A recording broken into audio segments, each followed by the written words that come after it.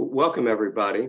Um, I'm Jeff Newcorn, uh, Professor of Psychiatry and Pediatrics, Director of the Center of Excellence in ADHD and Related Disorders at the Icahn School of Medicine at Mount Sinai.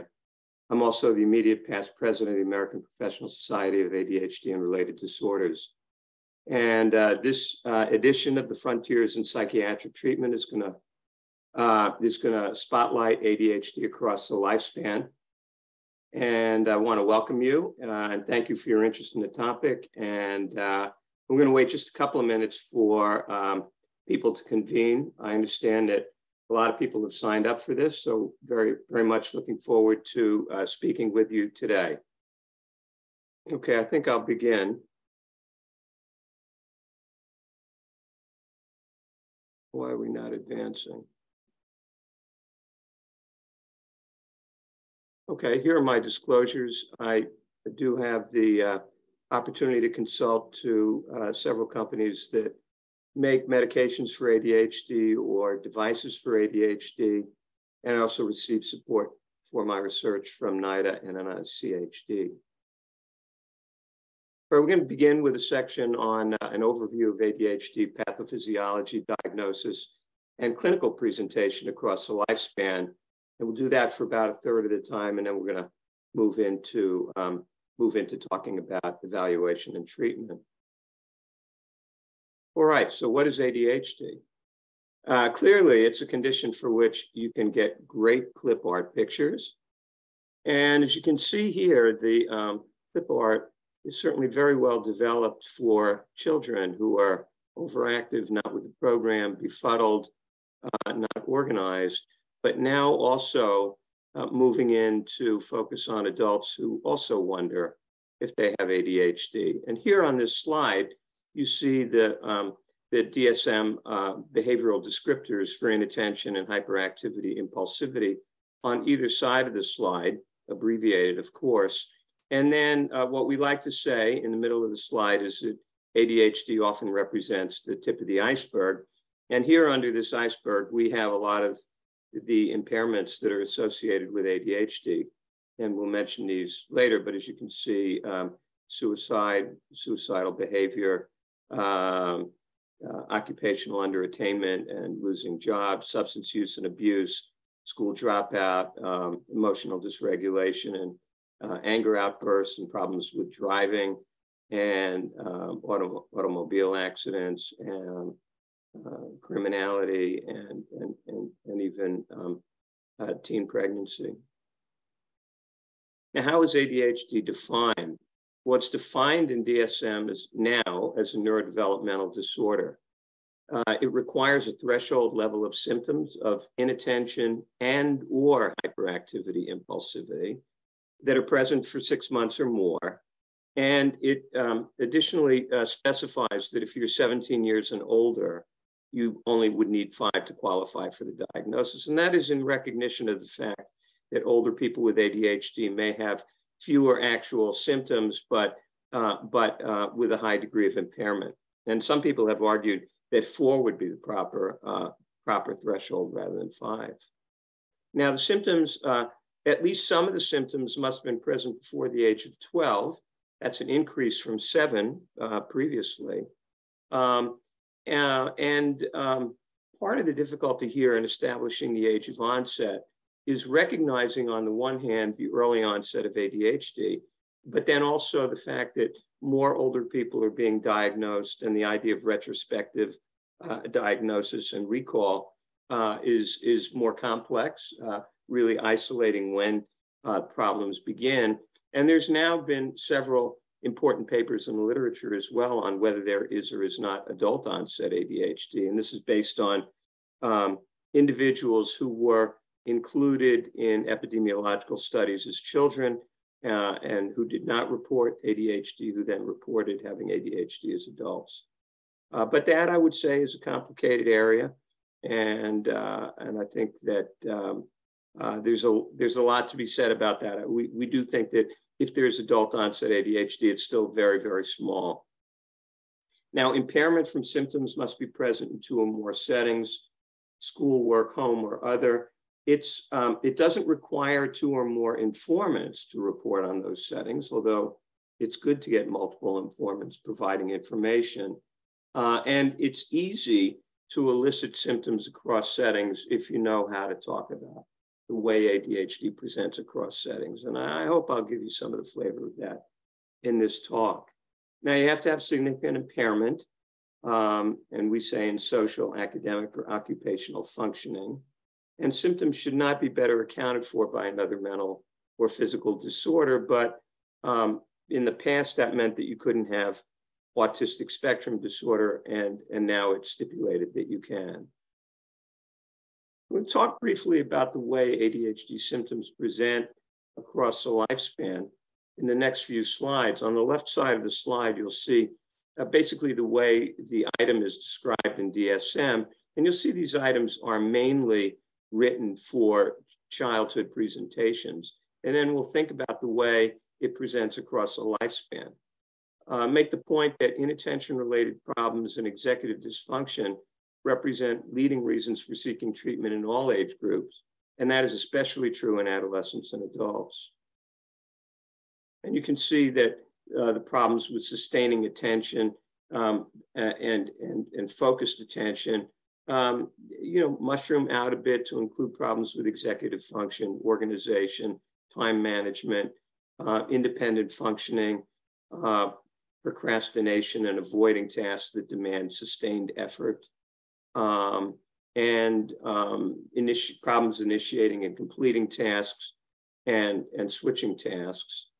Uh, and of course, it is possible to mitigate some of this uh, by uh, some, you know, lifestyle uh, modifications or support staff who can help you organize and manage uh, your time and your activities. Now, hyperactivity, and, um, and, and, here we split hyperactivity and impulsivity. Um, we like to say that aimless restlessness, like you have in childhood, often migrates to purposeful restlessness in older people. Um, hyperactivity tends to decline with age.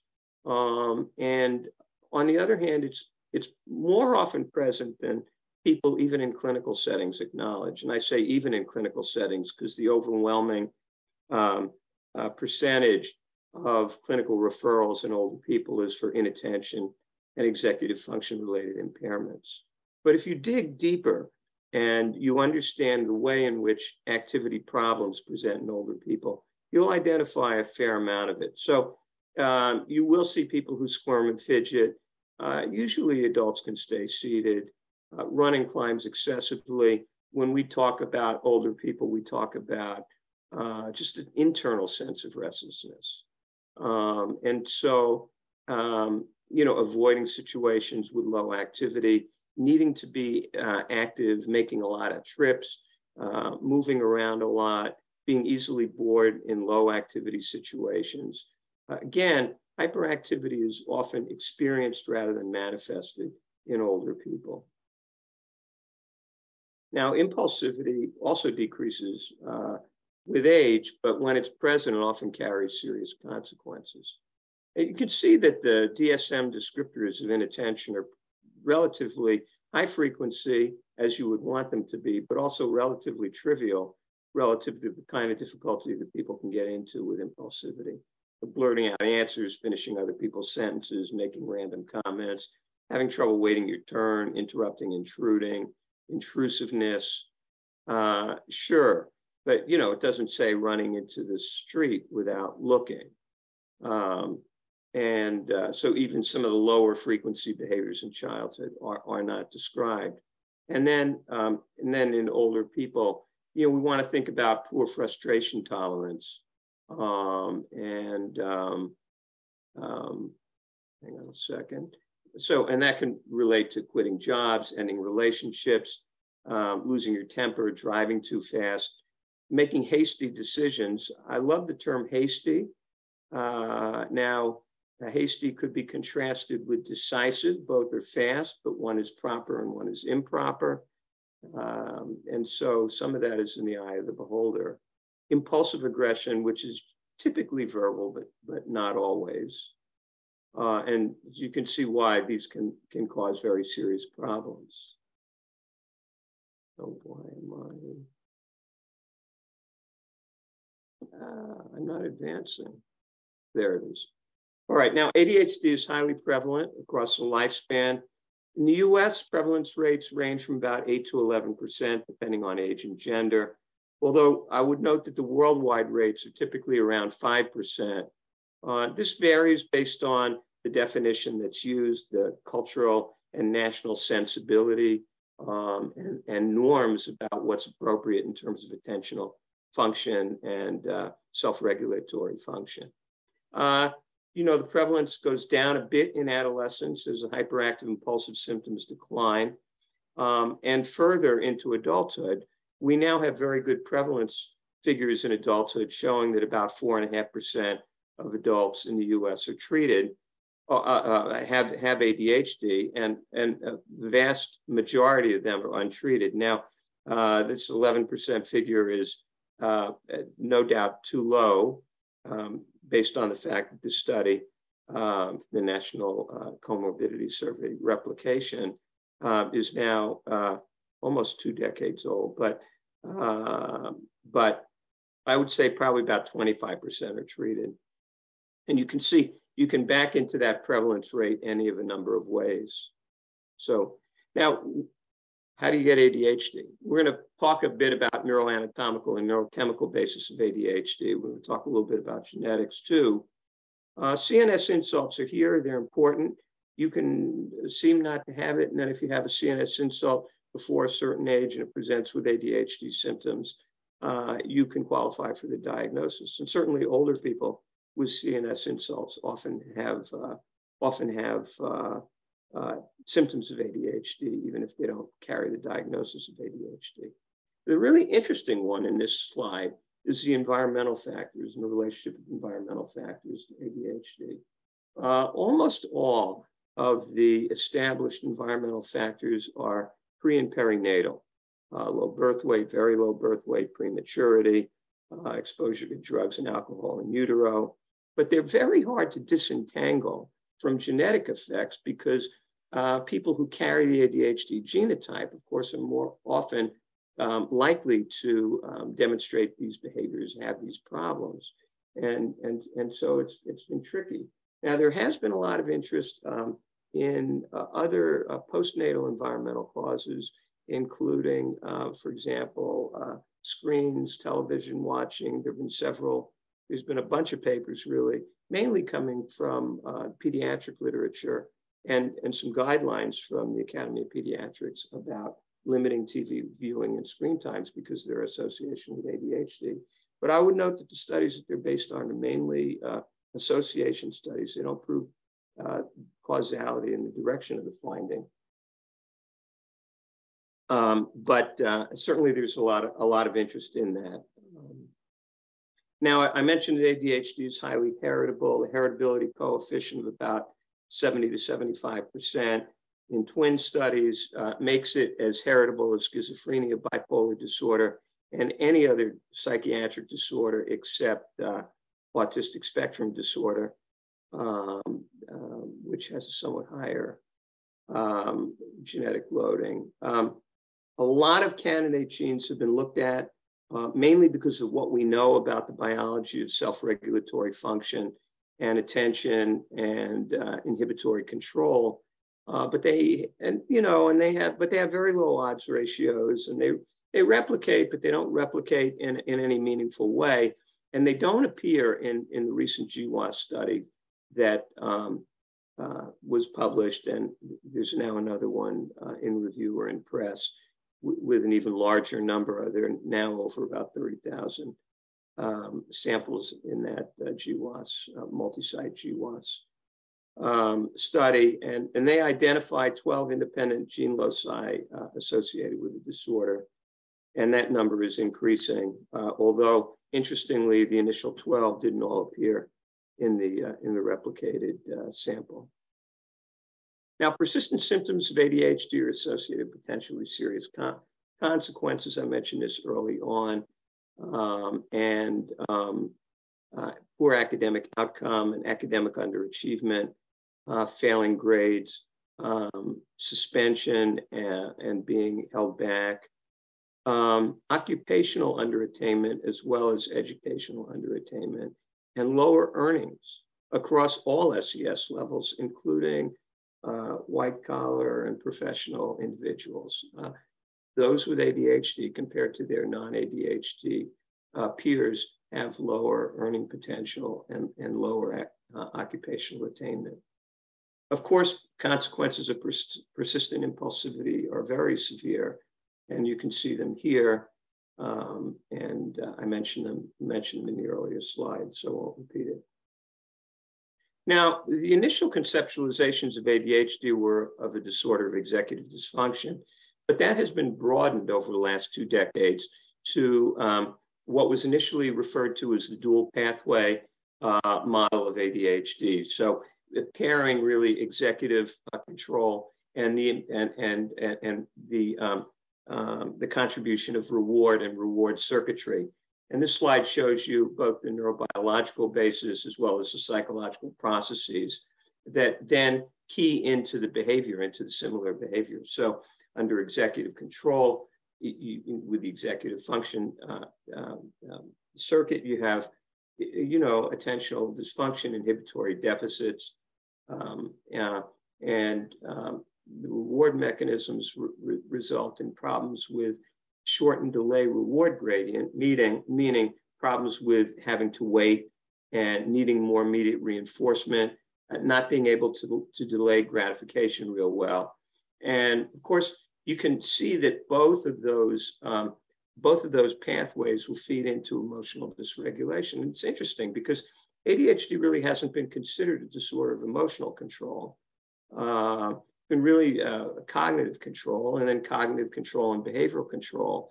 But uh, as you can see here, and there is uh, a significant um, feeding in of emotional dyscontrol. And actually the rates of emotional dyscontrol in ADHD are quite high, uh, and especially high in adult ADHD.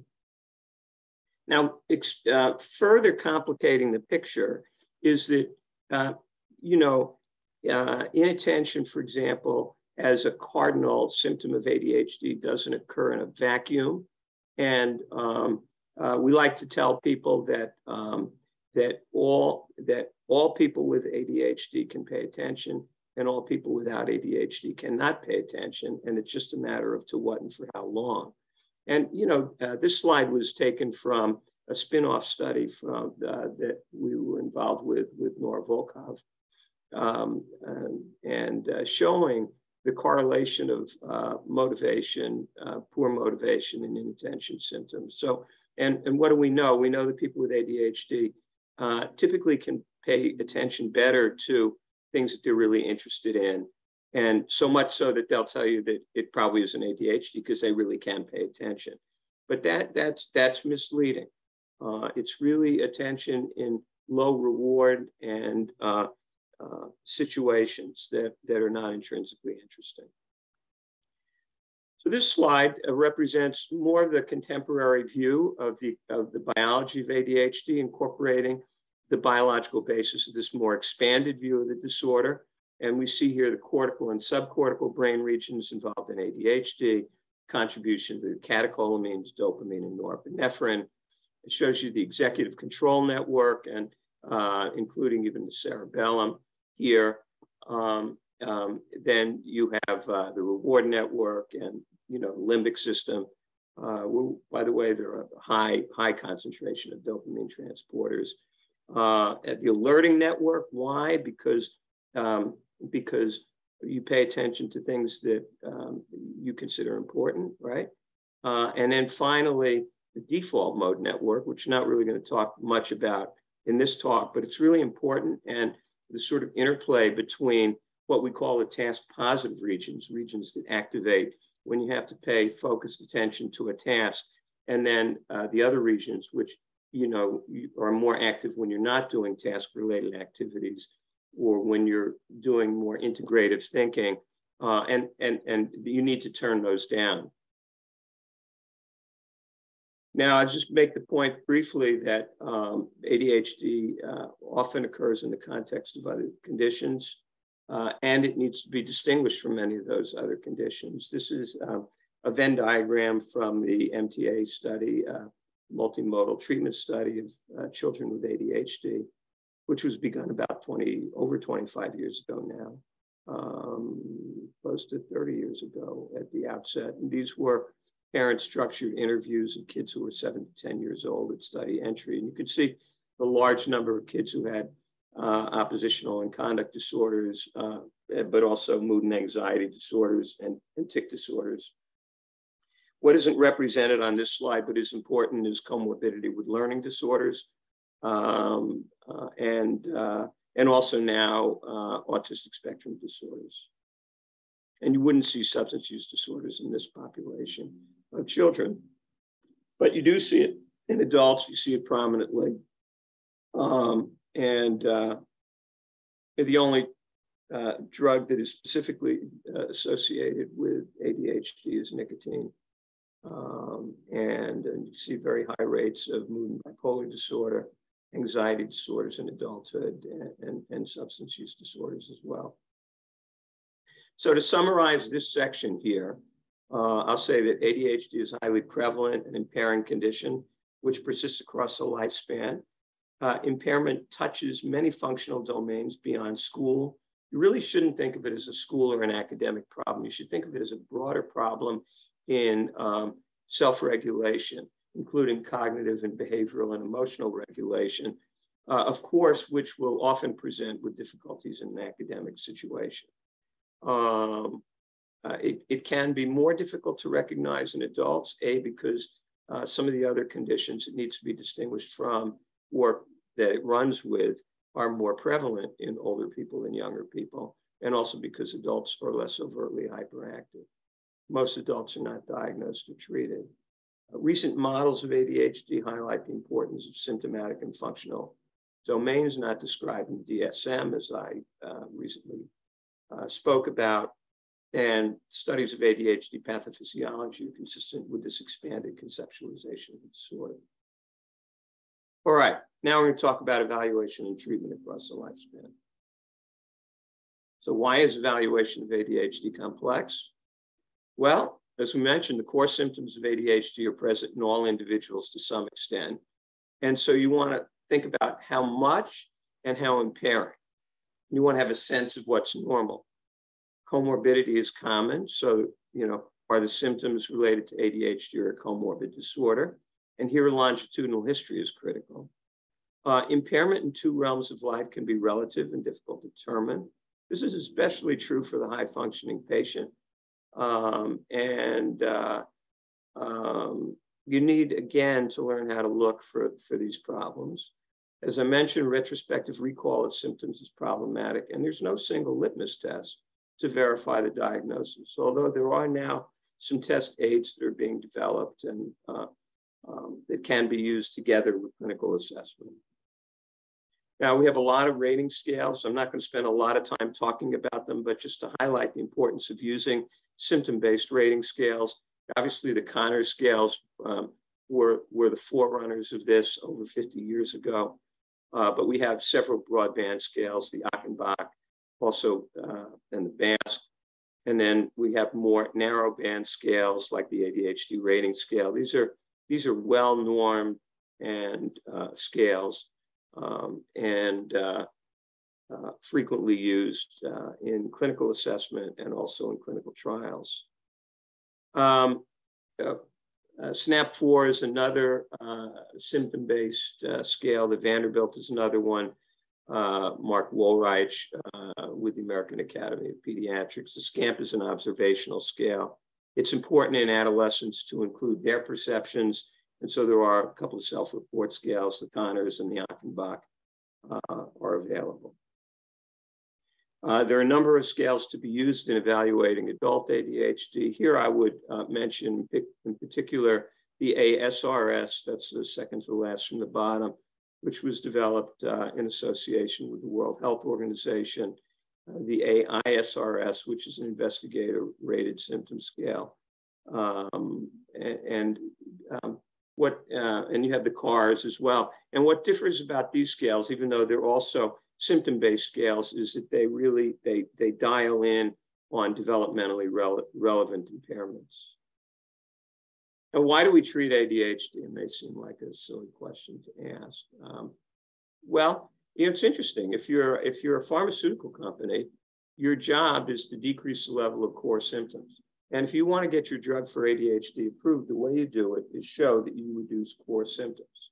And that's the only thing you have to show to get approved. And you have to be better than placebo in the United States. And in Europe, you have to also uh, show that you have value compared to comparators. Uh, but, um, but in clinical practice, what's most important is to minimize impairment from core symptoms. It doesn't really matter if you um, reduce symptoms and you don't really improve the ways that they manifest in people's lives and the ways that they hold them back. And uh, it's really important to identify certain target symptoms which really reflect the ways in which symptoms affect people, things that you really need to make better and to follow those over the course of treatment. So this could be academic or occupational problems related to attention or task completion of time management or relationship problems or self-esteem.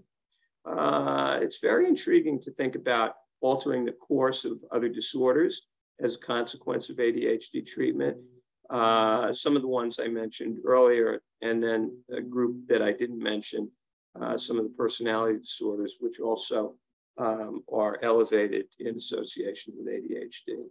Um, now, there are a variety of guidelines available for ADHD. Uh, I highlight here the American Academy of Pediatrics, the American Academy of Child and Adolescent Psychiatry, and I mention the American Academy of Family Physicians because they're the only group that has put uh, in the United States that's put out a guideline for adult ADHD, although it's it's not that well publicized or that well known.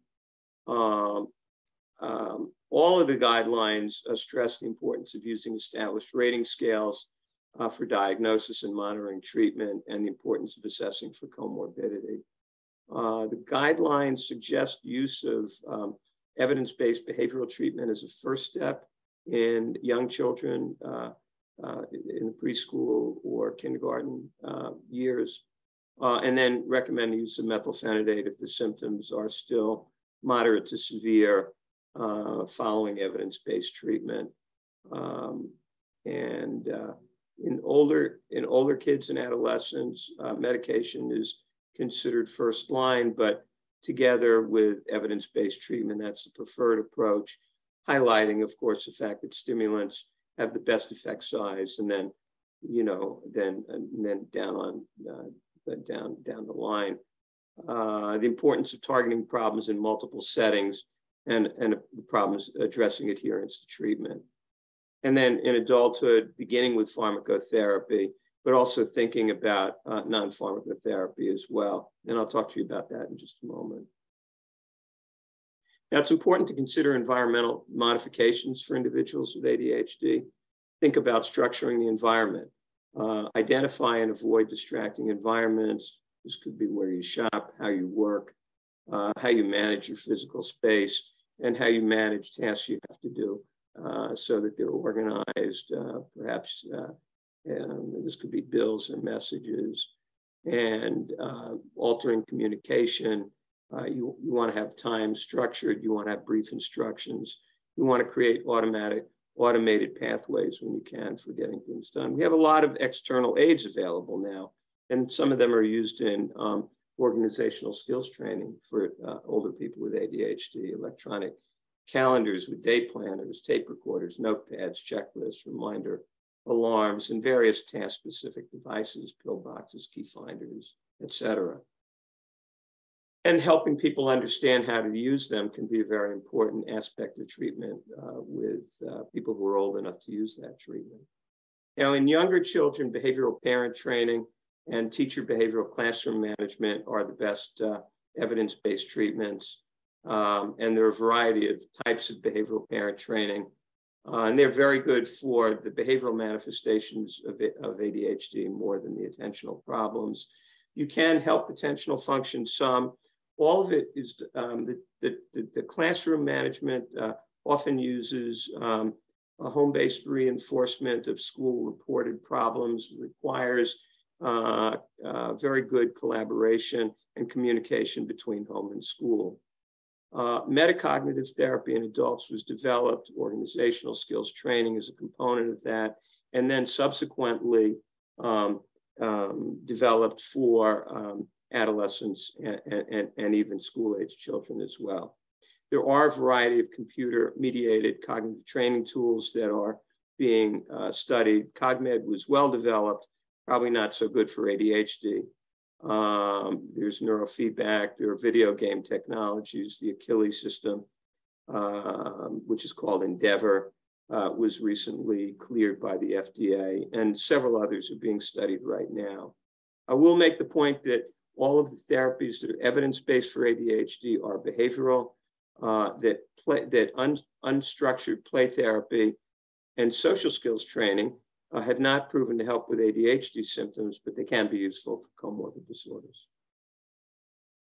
All right, now we're going to talk about medication. Um, so uh, I think I've got all of them on this slide. And what I like to say here is that um, we either have a lot of medicines for ADHD or not that many at all. Uh, why? because as you see, the top, top part of the slide is dominated by different formulations of two classes of stimulants, the methylphenidate class and the amphetamine class. Uh, we do have two classes of approved non-stimulants, the uh, noradrenergic reuptake inhibitors, that's Strattera and Qelbree. By the way, the slide uses brand names with a key to uh, generic names because it's impossible to figure out what we're talking about if we try to write up for all of these uh, different formulations of stimulants with generic names. And then the other class of approved non-stimulants are the alpha-2 agonists, Intuniv or guanfacine and Kapvay or clonidine. We have a variety of off-label medications, mainly that uh, impact noradrenergic function. A variety of investigational drugs, still some novel stimulant formulations being developed. Uh, centanafadine, a triple reuptake inhibitor, uh, being developed may or may not be scheduled. Uh, that's too early to say. The ones in parentheses are, are basically not being studied at the moment.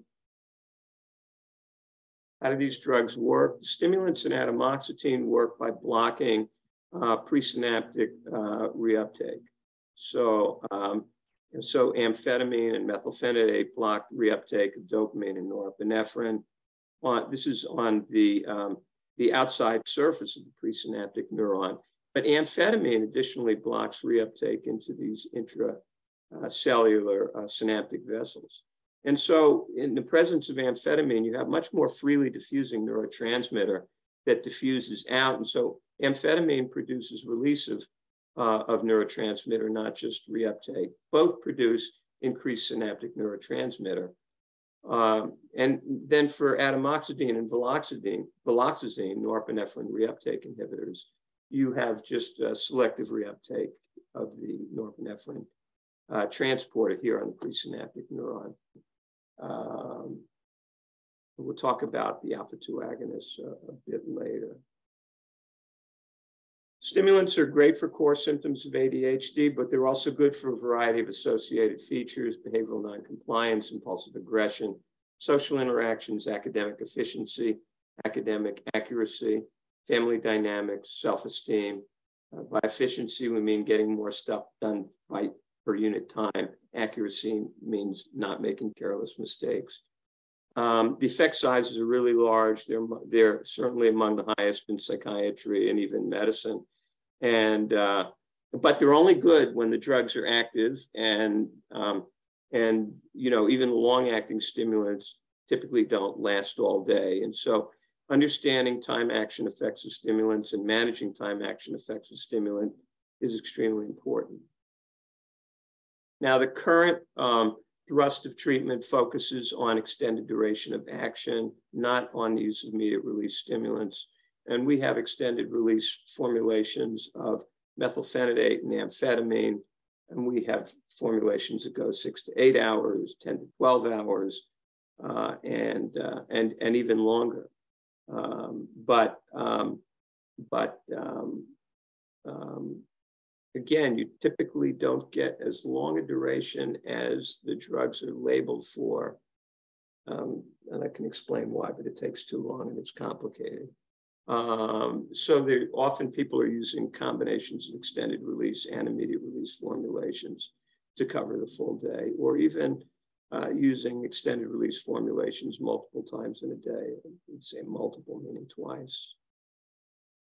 I, I would like to make the point that um, although people typically respond to either methylphenidate or amphetamine if you give it to them, um, there is relative preferential response. Uh, I wouldn't pay too much attention to the greater response for amphetamine here, although there's some suggestion that amphetamine is a bit more effective, whether that's because it's, it's more potent in the label dose range or really is a bit more potent. Uh, that, that isn't exactly known, but there are people that do relatively better in response and do relatively better in terms of tolerability. And it's really important to try both stimulants uh, to optimize and maximize response.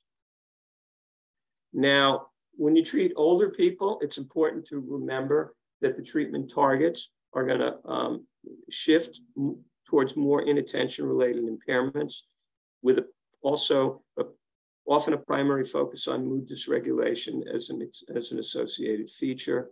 You need to cover longer periods of the day, so you need to dose adequately and you have to make sure that drug is active over the course of the whole day. And you have to monitor particular for cardiovascular uh, effects of these drugs um, because that, that becomes a bigger problem in older people.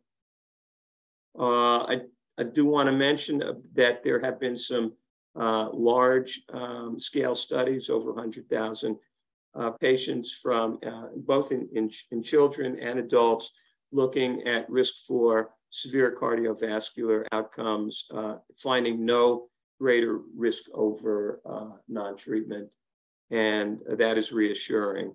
I also want to um, highlight uh, the difficulty we have with stimulant misuse, abuse, and diversion, and the large number of young adults, and particularly college students, who misuse, abuse, or divert these drugs.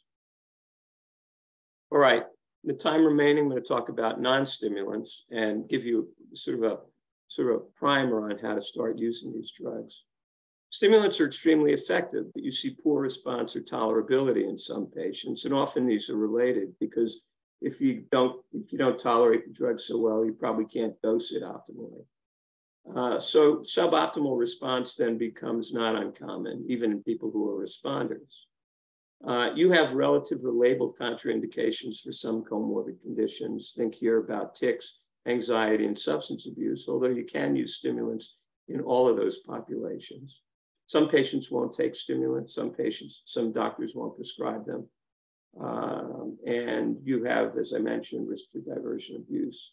And, and so, uh, and you have time action property uh, complications. So, you know, if you could get drugs that work, you know, close to as well as stimulants, have them work in the background all day long, not be abusable, that would really be fantastic. And that remains, uh, you know, uh, one aspect of the holy grail in drug development for ADHD. Now, this is a comparative study of Oros methylphenidate or Concerta and atomoxetine, uh, which was the first uh, non-stimulant that was approved by the FDA. And you see that um, methylphenidate, this is in kids, you'll see, uh, and, and adolescents, you'll see that um, that uh, methylphenidate is more effective, although uh, as you can see here in people who are stimulant naive, the difference between uh, stimulant and non-stimulant was much smaller. Both were, you know, uh, considerably better than placebo. Drugs are effective. I like to say that atomoxetine is really great for the people that respond to it. And I know that always drives people crazy, but the reason I say that is that these effect sizes uh, include the fact that a lot of people are non-responders to atomoxetine. So the response, that, that effect size that, that you saw just before, which is about an effect size of 0.7, nothing to sneeze at, uh, is mainly carried by the excellent responders. And I didn't say this when I spoke about impairment earlier. You really got to get over about 40 to 50% symptom improvement to, um, to get much of an impact on functional status. And, and that's why you want to um, try to optimize treatment. I'll make the point that atomoxetine was the first drug for ADHD that actually uh, had a label and was approved in adults. Now there, now there are others, viloxazine, which just came to market recently, got uh, got a label as well. Um, and uh, sorry, I'm just looking at the chat here. Um, and, and of course, uh, uh, several long-acting stimulants, including formulations of methylphenidate and amphetamine, are now labeled for use in adults as well. Um, make the point that atomoxetine uh, is uh, probably pretty good for individuals with ADHD and anxiety disorders. This was a study done in children and adolescents with over anxious disorder, separation anxiety disorder, and uh, social anxiety disorder. And this is the um, this is the um, um, the effect on anxiety um, with an effect size about a half, and um, uh, measured by the pediatric anxiety rating scale. And the effect size for ADHD in this study was about one. So really, really robust response in this group. Viloxazine, also a norepinephrine reuptake inhibitor, hasn't been studied in the same way, but viloxazine was, um, was uh, an approved uh, antidepressant with known anti-anxiety effects uh, in, uh, in the UK and a couple of other European countries. So it would probably be uh, good with this population, but that will require further study. I just want, I can't go through all the dosing. I just wanted to make the point that atomoxetine is metabolized by CYP2D6 and about 7% of the population are poor metabolizers. And the, the difference between drug uh, concentration and half-life in poor metabolizers and extensive metabolizers is dramatic. Uh, so your half-life in extensive metabolizers is about four and a half hours. And your half-life in poor metabolizers is 19 to 21 hours.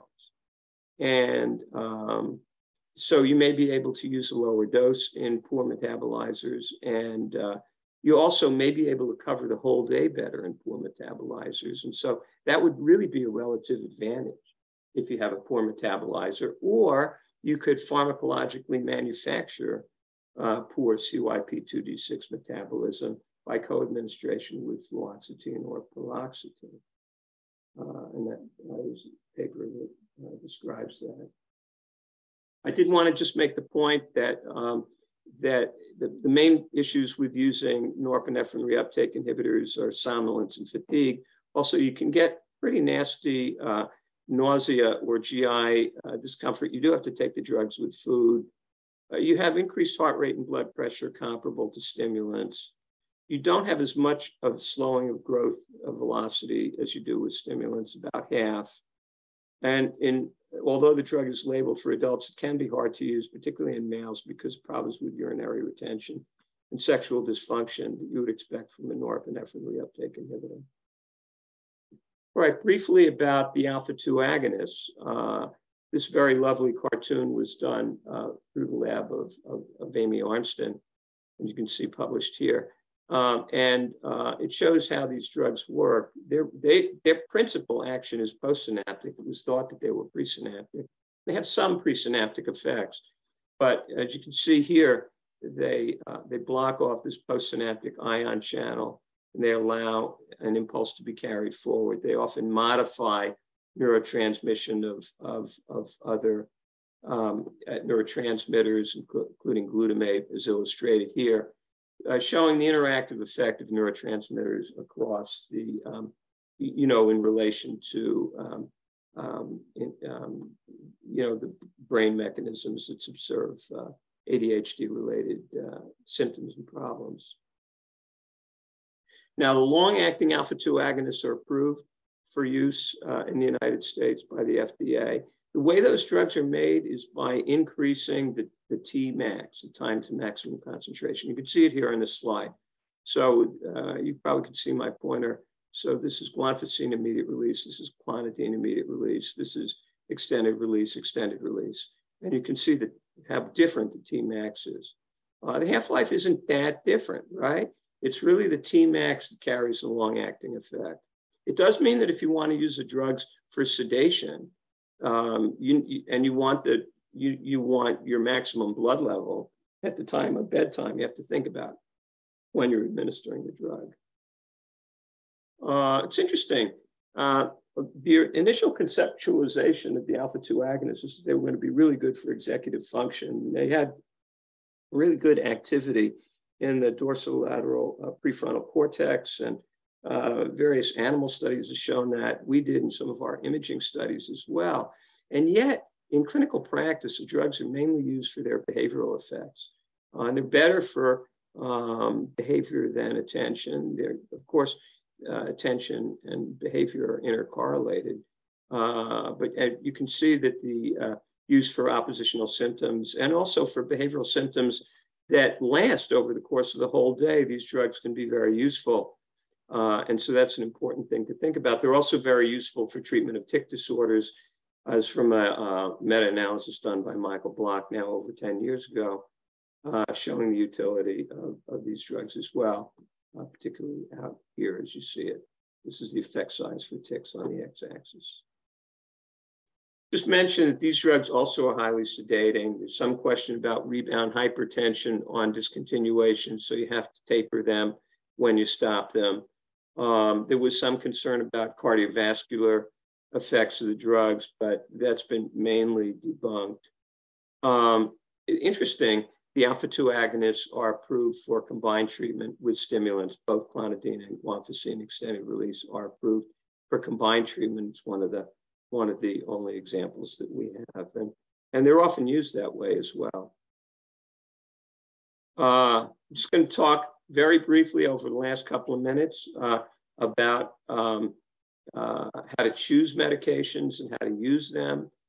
Uh, you want to think about the results of clinical trials. Uh, you want to think about mechanism of action. You want to think about head-to-head -head efficacy, but this tells you about groups. You want to think about special populations with comorbidity that will hone down on a subgroup. But there are a lot of other factors, individualized factors that will relate to um, uh, the medication that you or the patient might want to choose to use. Uh, nature and characteristics of the response, duration of effects, tolerability and safety, preference, uh, and previous treatment experience, of course the corollary of which is the treatment selected at a particular moment in time may not be the one with the largest effect size in clinical trials, but may be a very good choice for a selected individual. And this is some of the art of what we have to learn to do well. Uh, it's very important to titrate to optimal response, uh, particularly if you want to minimize impairment. As I say, you've got to get to about 40 to 50% improvement in symptom score to see, uh, you see a substantial uh, drop in impairment. So uh, you've, you've got to try to optimize treatment and uh, indicate here various ways of doing it, using symptom-based scales and, and identifying treatment targets and following them. Systematic testing of higher doses, therefore, becomes really important. Think about getting fitted for a pair of glasses. And you go in, and this one looks like it's pretty good, but they always test the next higher refraction, right? Why? Because it looks like it's good, but you don't know what's really good until you see better.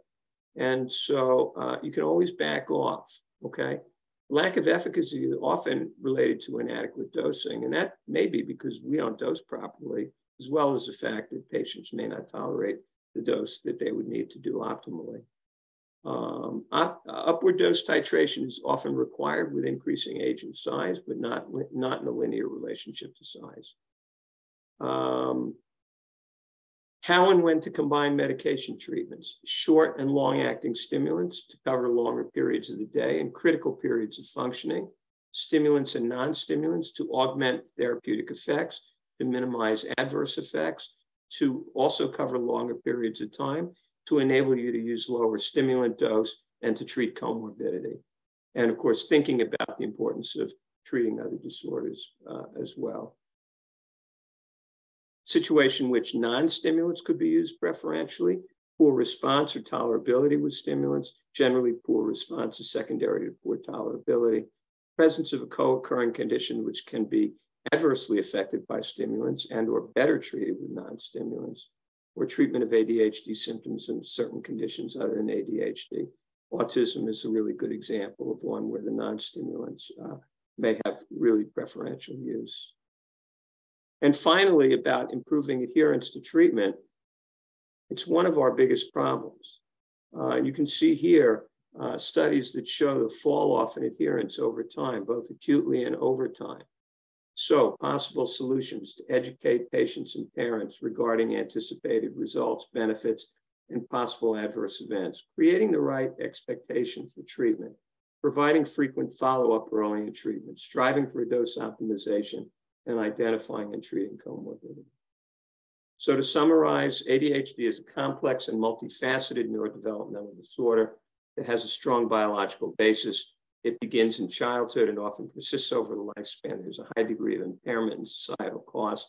Effective treatments impact multiple brain regions, attention inhibitory control, default mode processing, reward motivation, and emotion regulation.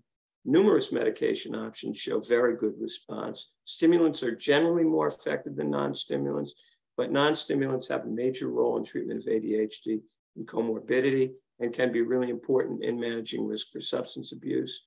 Treatment does not normalize ADHD, and symptoms often persist over time despite treatment. There have been some really good papers about that, particularly one uh, by Maggie Sibley um, that came out recently. And combined treatment can offer benefits in selected cases, and that can be stimulant and non-stimulant combinations and combined medication and psychosocial treatment. So I've gone over by a few minutes, but I hope uh, it was worth it in terms of the material presented. I'm going to stop sharing slides and go to the questions, which I will not be able to cover the large number, but I'll try to do the best I can. Uh, here's, here's an interesting question. Do you think that the majority of people with adult onset ADHD have simply outgrown their coping mechanism, methods? Um, and uh, I think it's possible. Uh, and uh, um, what is implicit in this question is that they had problems that they had to cope with. Um, and, and, and, and, and that I think gets to the really important point that um, we think that the people that uh, may identify in adulthood have, have, have not been well enough um, uh, identified in, in childhood and uh, or, or, or were subthreshold, or maybe were really smart and didn't have to function, uh, you know, with all cylinders firing. Uh, here's a question about whether ADHD can be caused by trauma. ADHD and PTSD are both related. Uh, ADHD increases risk for PTSD, and PTSD can increase risk for ADHD. Now, not all trauma is ADHD, and of course, in a lot of um, the populations, you see high, high rates of trauma. Uh, I could really talk about this at some length, focusing on the way in which the brain operates when it's traumatized and how it searches out threat stimuli in the environment and showing you which parts of the brain and how that, how that interacts with uh, focused attention. Uh, but it will divert your attention. So the simple answer to your question is yes, it can, and you want to be aware of it. But at the same time, you don't simply want to say, oh, I see trauma here, so I know it's not ADHD, it's trauma. That would, that would not be correct. All right. Uh, their adult lives have too many demands and too many environments. Okay. So yes, uh, the, the, symptomatic presentation of ADHD is very much interactive with, um, with um, uh, demands uh, and the tasks that one has to achieve. And uh, there's a saying that I like to use uh, with my trainees and with my patients which is that impairment represents the inner the intersection of capacity and and context. Inter, impairment represents the intersection of capacity and context. So it's what you bring to the situation, but it's what the situation also uh, requires of you. Uh, would love to, and and and how you use medicines will will often have to change um, based on based on the context. Um, I'm going to skip that one because it takes, uh, it's a long answer. There are so many different types of medicine for ADHD, many dosage form. What are the top five appear to be best choices for patients? Well, they're all good. Uh, but, you know, usually we use generic drugs before brand name drugs, but there are reasons to use some of the brand names too. And particularly, you really should inquire as to whether some, some of the brand name drugs um, are, are covered on formulary, because they are, and you may be able to give them. Uh, lisdexamfetamine or Vyvanse is really a good long-acting amphetamine that is branded. Adderall XR is uh, probably the um, the most widely used uh, of the long-acting stimulants. Concerta or Oros methylphenidate was the first used um, Focalin XR or uh, dexmethylphenidate XR because all methylphenidate is DL methylphenidate except for Focalin, which is D-methylphenidate. Uh, functionally, it's the same because L-methylphenidate isn't so active. It doesn't get into the brain, it gets eliminated in first pass. Uh, how are we doing here on questions? Not well, right? Uh, I've got four or five minutes. Uh, why do you recommend with adult ADHD, adults with ADHD avoid working in cubicles? Well, uh, I wouldn't necessarily recommend where someone work. Uh, I just, um, I mean, um, adults with ADHD often need to be able to get up and walk around uh, and move around. Uh, being on a line of cubicles with other people working that way will identify someone who has to get up and walk around. So, you know, could could um, could make it hard for somebody. Uh, also, cubicles are not rooms, and so the potential for distraction is going to be higher.